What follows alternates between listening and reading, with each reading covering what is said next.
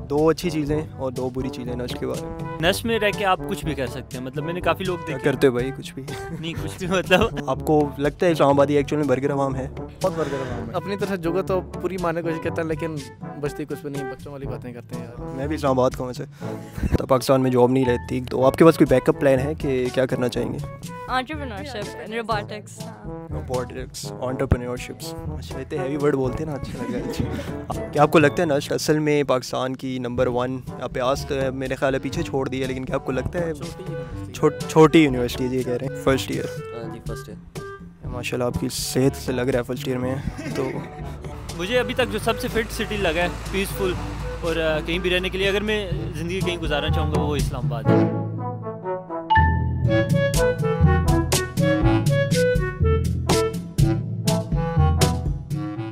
तो भाई वालेकुम। आज के ब्लॉग में बहुत एक्साइटेड हूँ क्योंकि मैं अपनी पुरानी यूनिवर्सिटी आया हूँ नस्ट चार साल पहले यहाँ से ग्रेजुएट हुआ था, चार साल बाद यहाँ पे आया हूँ। और यहाँ पे इसलिए आया हूँ क्योंकि मैं जानना चाह रहा हूँ कि भाई, हम तो जो तीर मारने थे, मार लिए हैं, हमारे जूनियर्स क्या तीर मार रहे हैं? तो भाई, आके उनसे पूछते हैं, उनका इंटरव्यू लेते हैं। इसमें जो मेन सवाल होंगे, मेरे ऑडियंस से वो यही होंगे कि हर बंदा इंजीनियरिंग कर रहा है, लेकिन जॉब्स तो बहुत कम को मिल रही है। तो भाई, आप क्या सोच के इंजीनियरिंग के लिए आए हो?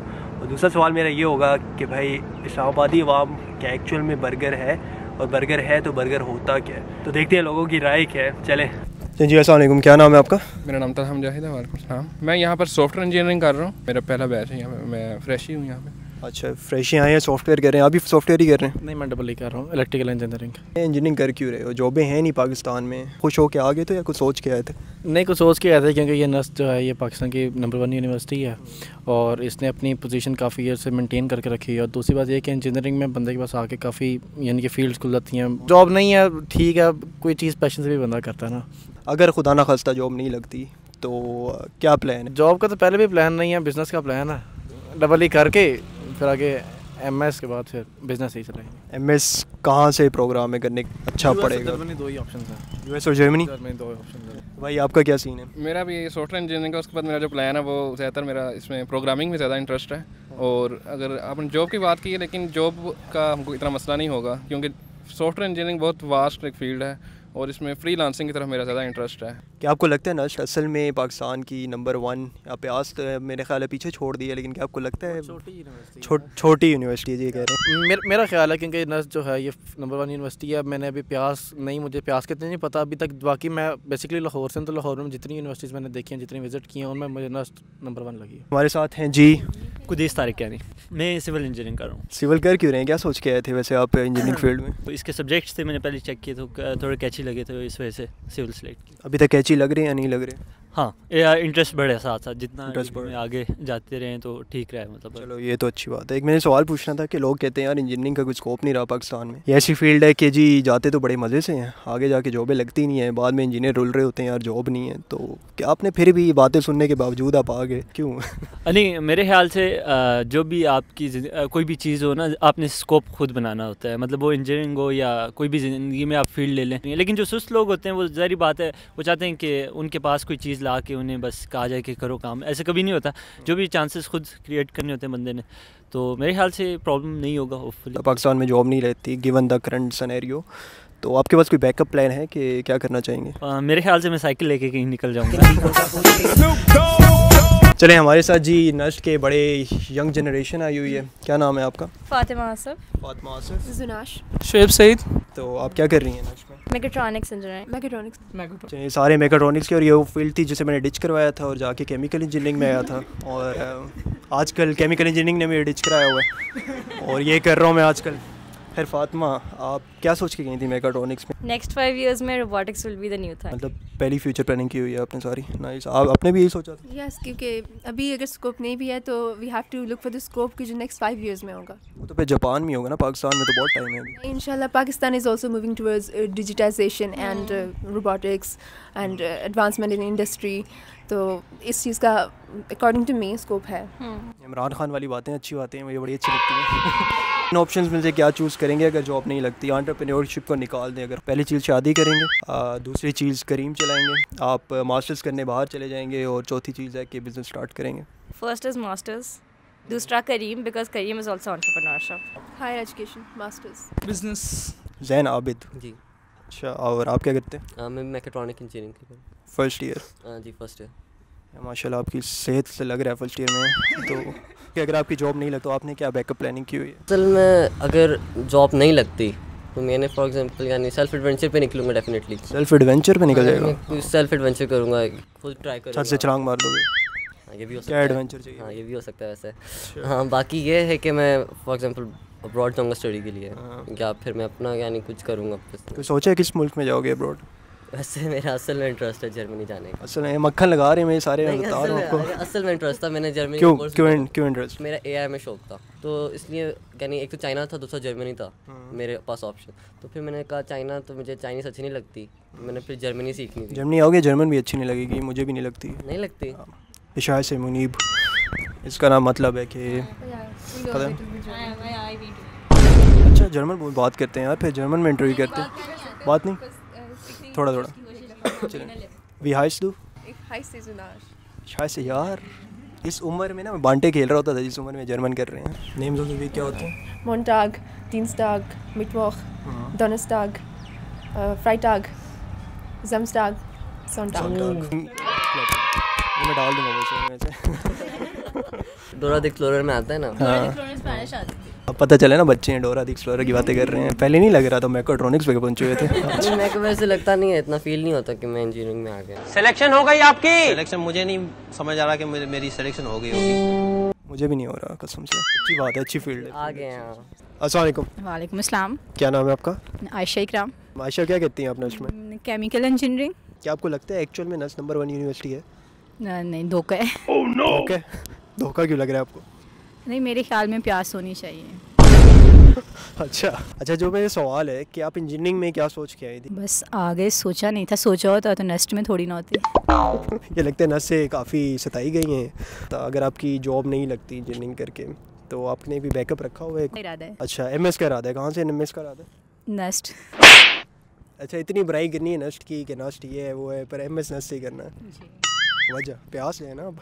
2.05 सीजीपीए तो कहीं और होगा। दो अच्छी चीज़ें और दो बुरी चीज़ें नर्स के बारे में। नर्स की दो अच्छी चीज़ें हैं। पहले तो मैं बुरी चीज़ें बताऊँगा कि हॉस्टल में घर वाले कोई अलाउड नहीं है। दूसरी बात यह है कि डबल सवारी पे यार हेलमेट दोनों दोनों लोग पहनते। हैं बंदा ले भी बाइक वाले से तो वो लिफ्ट नहीं देते क्योंकि हेलमेट ही नहीं आता यार उनके पास। और दो अच्छी चीज़ें ये हैं कि हमारी लैब्स बहुत अच्छी हैं। और यहाँ पे आके हमने बहुत अच्छी चीज़ें सीखी हैं। यहाँ पे जो हमारे सीनियर्स हैं जो जितने भी सीनियर्स हैं जिस बैच की मर्ज़ी हो वो बहुत फ्रेंडली हैं। बुरी बात यह है कि एक तो लाहौर में इसका कैंपस नहीं आना नर्स का लाहौर में कैंपस होना चाहिए। एक वैसे भी लाहौर पाकिस्तान का सबसे बड़ा शहर बन चुका है अब तो। और उसके बाद हॉस्टल में घर का खाना काफ़ी मिस करता हूँ। और जो अच्छी चीज़ें हैं वो टीचर्स काफ़ी मतलब के एक्सपीरियंस वाले हैं बहुत मतलब के नॉलेज है उनके पास। और लैब्स भी काफ़ी अच्छी हैं और दूसरा एडवेंचर बहुत है यहाँ पे अभी भी हम यहाँ पर मतलब देख एडवेंचर कर रहे थे खाली फिर रहे थे एडवेंचर मतलब कि डिस्कवर कर रहे थे कुछ। कि नर्स में रह के आप कुछ भी कर सकते हैं मतलब मैंने काफ़ी लोग देखे। करते हो भाई कुछ भी। कुछ मतलब अपनी ज़िंदगी में अच्छा अच्छा। कुछ करना चाहते हैं जिस तरह मेरा ये साइकिलिंग पैशन है तो मैं नस से ही मैंने नस में आगे स्टार्ट किया तो अभी मैं इसमें काफ़ी आगे निकल गया हूँ। इसी तरह बाकी भी मैंने लोग देखे हैं जर्नलिस्ट यहाँ से निकले कुछ सिंगर्स भी निकले। आपको ऐसा इन्वायरमेंट मिल जाता है जिसमें आप काम कर सकते हैं और लोग भी काफ़ी सपोर्टिव आपको मिल जाते हैं। बुरी बात मेरे ख्याल से कर्फ्यू टाइम वाला थोड़ा सीन बैड है। थोड़ी जो स्ट्रिक्टनेस ज़्यादा है। हाँ स्ट्रिक्टनेस ज़्यादा है और स्टूडेंट पावर भी किसी हद तक होनी चाहिए मेरे ख्याल से वो नहीं है नस में। स्टूडेंट एम्पावरमेंट थोड़ी कम है। हाँ वो कम है। आपका क्या लगता है बर्गर अवाम क्या होती है? डेफिनेशन क्या है बर्गर अवाम की? Their accent, maybe. The accent, I'll agree on that. The extent only because of the extent they are burger Yeah, obviously. चलो बर्गर होते नहीं बर्गर बनने की कोशिश करते हैं। हाँ, हमें दिया जाता है ना तो बर्गर बनने की कोशिश करते हैं वो नाकाम कोशिश होती है। आपको लगता है इस्लामाबादी एक्चुअल में बर्गर अवाम है? Um, थोड़े बहुत बहुत ज़्यादा। बहुत ज़्यादा बर्गर बहुत बहुत ज़्यादा होता है। आपको इतना एक्सपीरियंस नहीं हुआ अभी इस्लामाबादियों के साथ। नहीं हुआ। I think they are good actors they are good actors चले। मैं इस्लामाबाद से हूँ वैसे एक्टिंग मेरी अच्छी है। यस इस्लामाबादी वाम से इंटरेक्शन आया लेकिन बहुत ठंडे हैं यार। बहुत ठंडे हैं। आ, मैंने यही पूछना था कि क्या सारे लोग कहते हैं इस्लामाबादियों को कि यार बर्गर अवाम है थोड़ा बहुत बर्गर अवाम बर्गर अवाम है। तो पहले तो बता दें बर्गर अवाम होती क्या है? अक्सर मुझे आइडिया नहीं है उसका। अपनी तरह जुगा तो पूरी मारने की कोशिश करता है लेकिन बचती कुछ भी नहीं है बच्चों वाली बातें करते हैं। Mummy daddy type. Mummy daddy बच्चे हैं। इनमें वो ग्रेंजर नहीं आया जो लाहौरियों में है ना। उस तरह से ओपन नहीं होते मेरे। उस तरह से ओपन नहीं है एक लाहौरी है दूसरे फैसलाबादी। सुन रहे हो इस्लामाबादियों? मैं भी इस्लामाबाद का हूँ अच्छा इस्लामाबाद के लोग एक ओपन नहीं है थोड़ा बर्गर मैंने पूछा था बर्गर होते क्या हैं? वैसे हम कहते रहते हैं लोग हमें समझ नहीं आती यार क्या कसूर है हमारा?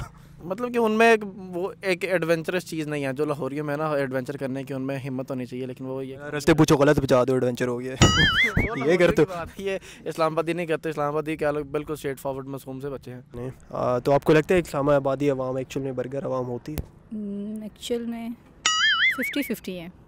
फिफ्टी फिफ्टी है। बर्गर अवाम की डेफिनेशन कोई खास नहीं है वो हरकतें हरकतें देख के पता चल जाता है कि बर्गर किस तरह के। होते के बारे में क्या आ रहा है आपकी? इस्लामाबाद क्योंकि नॉर्मल जनरल ट्रेंड है कि यार बड़े बर्गर अवाम है क्या आपको लगा है? एक्सपीरियंस किया आपने इस्लामाबादियों के साथ? वैसे दो टाइप के लोग हैं इस्लामाबाद में भी मतलब बर्गर अवाम भी है एक तरफ़ लेकिन अभी जो पिछले एक साल में मुझे पता चला है कि बर्गर से हट के भी लोग हैं जो मतलब ये एथलेटिक्स वगैरह में काफ़ी लोग हैं और मतलब इस्लामाबाद में एक वो अवाम है जो मतलब ठीक है रात जल्दी सो जाते हैं और फिर सुबह भी आराम से जागते नहीं। एक तरह की आवाम और भी है जो मतलब सुबह उठ के सवेरे साइकिलिंग शुरू करते हैं, फिर जॉगिंग वगैरह पे निकलते हैं।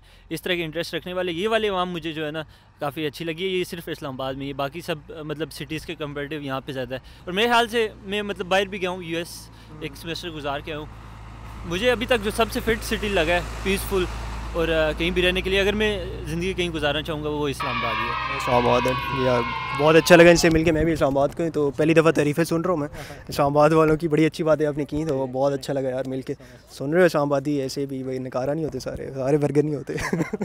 तो भाई, ये थी मेरी छोटी सी डिस्कशन नस्ट के अवाम के साथ। मुझे तो बहुत मज़ा आया है, क्योंकि even from the very beginning Nernst के अवाम को पता है कि actually what they are doing at least जिन जिनसे मेरी बात हुई है। तो काफ़ी लोग मुझे ऐसे भी मिले, जो कि यूरोप वाली साइड पर भी इंटरेस्टेड थे। तो अगर आप भी इंटरेस्टेड हैं तो भाई आए मेरे चैनल पे अगर आपको ट्रैवल ब्लॉग्स देखने हैं या फिर आपको एजुकेशन के हवाले से कुछ जानना है तो काफ़ी इन्फॉर्मेटिव वीडियोज़ मिलेंगी आपको मेरे चैनल पर उम्मीद है आपको आज की एपिसोड पसंद आई होगी। अगले ब्लॉग पर मिलते हैं। तब तक के लिए भाई, अल्लाह हाफिज़।